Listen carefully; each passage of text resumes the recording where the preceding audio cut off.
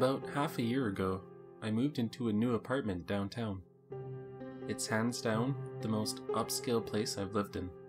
Rooftop access, a fitness center, a pool, huge windows with beautiful views of the city. This place had it all. My leasing agent said apartments in that building were going fast, and when I found one on the 11th floor in my price range, I signed a year long lease immediately. And the building was wonderful. At first. I thought it was strange from the very beginning that I never seemed to see anyone taking advantage of the amazing amenities. There was never anyone in the pool, on the roof, or in the fitness center. I didn't mind, of course, as this meant that I had these things all to myself. I joked with my friends that I was starting to think that no one lived in the building but me, while I enjoyed what seemed like private access to all the great things in my building.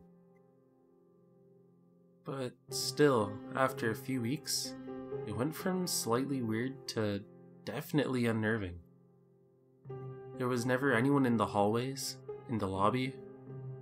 This is a huge building 12 floors, and probably hundreds of people. Yet I never saw anyone. Just the doorman that worked in the lobby of the building. After a few weeks, I talked to the night doorman about the lack of people and how strange it all seemed to me. The doorman chuckled and said, Nobody lives here but you. What? He laughed again. I'm kidding, I'm kidding. Of course, other people live here. The building's almost completely full. Then why don't I see anyone? Who knows? Maybe you're always walking about during quieter hours. I guess, I said. The building had to be less full than he implied. Maybe they just pretended to be near capacity to drive the prices up. Either way, it seemed like something shady was going on. But I tried to ignore all that and enjoyed taking my friends for an uninterrupted swim or a private evening stargazing on the roof.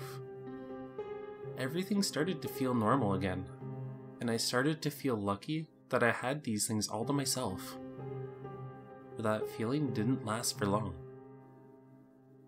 One night, my friend Brian came over for drinks, and when I opened the door, I was shocked. I'd never seen him like this before. All the color had drained from his face, and he was visibly shaking. What's wrong? I asked. The number. Your apartment number. I. I. I got it wrong. I got your apartment number wrong. I went to the 10th floor instead of the 11th. I. I went to apartment 1030, not 1130. I went to apartment 1030, he sputtered. What? Brian, it's fine. I don't care. Now you know I'm on the 11th floor. He grabbed my arm and said, No, no, you don't understand. Someone lives in 1030. And she looked. She looked exactly like you. I laughed. oh, maybe I have a secret twin. Awesome. No, he said. She. She looked exactly like you. I can't tell you how much she. And she sounded like you. We were talking. I thought it was you. I. I walked into her apartment. She was talking to me like she knew me. I started looking around her apartment. Everything was different. Everything was out of place. Everything was. stranger. I don't know. I can't describe it. She looked like you. She looked exactly like you. I got chills. You. You thought she looked like me enough to go into her apartment and talk to her? And she talked to me like she knew me. It wasn't until I looked down at my phone and I saw you had texted me 11:30 instead of 10:30. Jesus. I bolted out the door and didn't go back. I ran up a flight of stairs to get here and. and. she looked like you. She sounded like you. And she's right below us, right now. I think maybe we should go down there. Are you insane? I'm not going down there. You shouldn't go down there either. I think we need to, Brian. We. I don't want to go down there. And I want to stop talking about this. The rest of the evening, I kept trying to steer the conversation back in that direction, but Brian refused. Even after a drink or two, he still hadn't calmed down, and he ended up leaving early, still very shaken up. As he left through the lobby of my building, he turned back to me, looked me dead in the eye, and said, Don't go down to 1030. I know you're curious, but do not go down there. Don't go back there. Don't. Despite his dire warning, I had to know. I had to. I got back in the elevator and pressed the button for the 11th floor. As the elevator slowly passed the 8th floor, I pressed the large, illuminated 10, and the elevator creaked to a stop on the 10th floor. As I got out of the elevator, I already felt the air shift. It was much colder on this floor, and darker. But otherwise, it was almost identical to the 11th floor. I walked the route I had taken so many times to my own door, only on this odd, darkened floor. It felt like looking at a copy of a copy of a copy. The similarities were there, but it was murkier, blurrier, and distorted. I arrived at 10:30 and suddenly got the distinct feeling that I should not knock. I knew I shouldn't. I knew it was a bad idea. I knocked. I heard footsteps approach the door, and a hand starting to turn the handle. Then, in what I can only assume was whatever was behind that door, looking through the peephole at me, the handle stopped turning. I heard the sound of the door locking and deadbolting, and footsteps moving quickly in the other direction. I knocked again. Nothing. Whatever was there was willing to open the door until it saw me. I took the stairs back up to the 11th floor. I would try again tomorrow. The next evening, I walked back down again. The lights in the hallway flickered.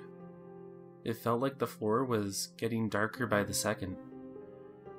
I knocked on 1030's door the same exact thing happened.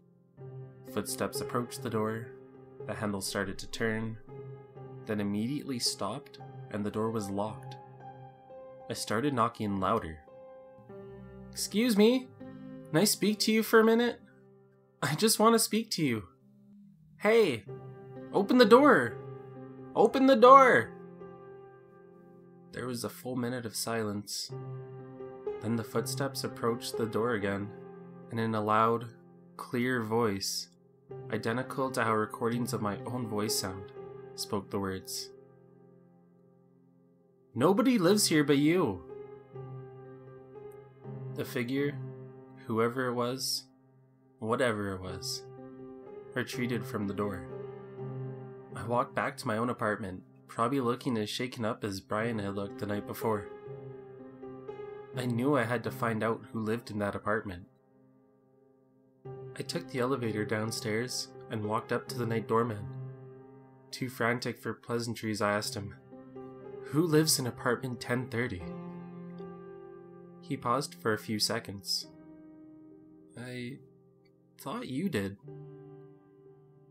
I'm in 1130. Who's in 1030? I thought it was you. Can you look up who lives there? I need to know their name. I'm sorry, ma'am. That would be a breach of privacy protocol. I can't do that. I need to know who lives there. There's nothing I can do.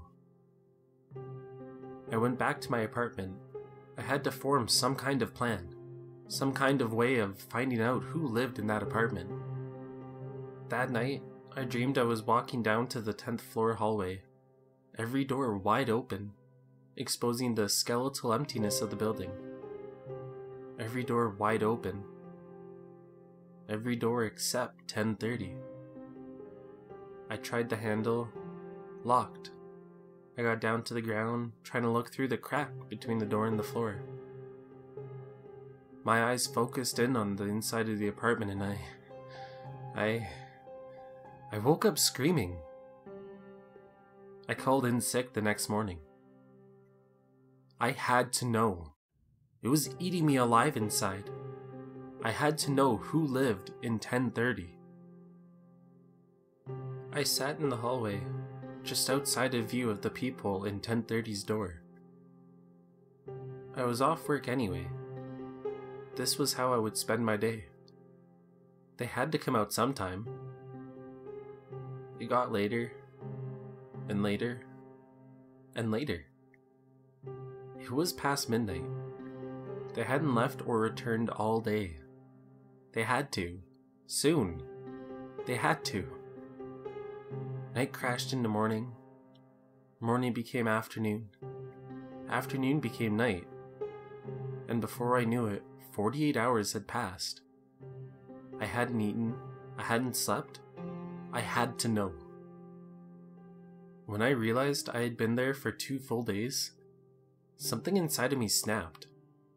I stalked up to 1030's door and started banging the door endlessly with my fists. Let me in! Let me in! Let me in! I'm not going to leave until you open this door! I'm not going to leave! I'm not going to leave! Open this door! Open this door right now! This continued until my fists were red and raw, but I'd keep knocking until my hands were scraped down to the bone if I had to. I had to know. I had to know. About 15 minutes of this, I heard footsteps approaching the door. One lock clicked open, the other clicked open. The door slowly opened, revealing a man in his 70s or 80s. What are you doing? Trying to break into my home? The woman! Who is the woman that lives here? Woman. There's a woman who lives here. She looks exactly like me. My friend mistook her for me. And she sounds like me. I heard it with my own voice. She spoke to me.